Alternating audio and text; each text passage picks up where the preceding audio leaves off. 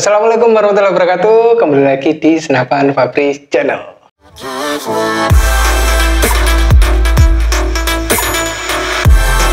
Dan di episode kali ini kita akan mengulas produk terbaru yang ada di Senapan Fabris ya. Dan kemarin juga sudah saya buatkan videonya, tapi belum saya ulas ya spesifikasinya. Nah, kali ini kita akan mengulas spesifikasi dari senapan ini yaitu PCP manual Gunter ya 2760. Dan seperti apa saja spesifikasinya, mari langsung kita bahas. Well, a little a little sweet.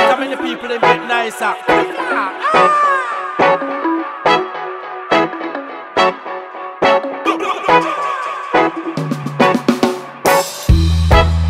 Nah, untuk yang pertama kita ke bagian laras ya. Di laras di sini menggunakan laras yang terbuat dari bahan baja dengan diameter 13 ya, 13 mm. Untuk alurnya di sini 12 dan untuk panjangnya di sini 60 cm. Dan untuk di bagian depan ini drat peredam ini sudah jadi satu dengan larasnya ya ini ya untuk drat peredamnya dan ini terbuat dari baja dan juga sudah dilengkapi dengan visir manual. Untuk di bagian belakang juga di sini sudah dilengkapi dengan visir manual. Nah, kita lanjut ke bagian camber. Untuk bagian camber di sini menggunakan camber yang terbuat ini dari bahan kuningan ya. Untuk sistemnya di sini patri seperti ini. Dan untuk grendel di sini seat lever atau kokang samping.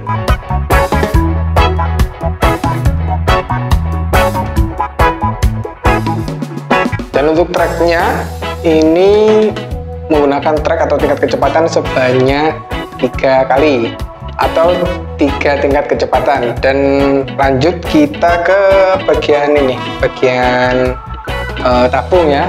Dan seperti namanya untuk bagian tabung di sini menggunakan tabung. Ini berbahan dari monel. Dengan tingkat ketebalan ini 3 mm yang sanggup menampung kapasitas tekanan angin maksimalnya 3500 sampai 4000 PSI. Dan untuk manometer di sini sudah disertakan di bagian bawah ya untuk melihat tekanan angin yang ada di senapan ini.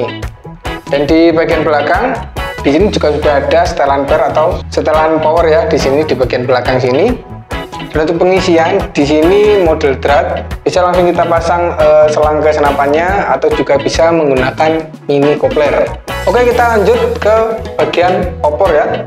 Dan untuk popper di sini model klasik dan ini terbuat dari kayu mahoni pilihan dan untuk finishingnya ini finishing warna coklat ya, coklat natural kayu seperti ini.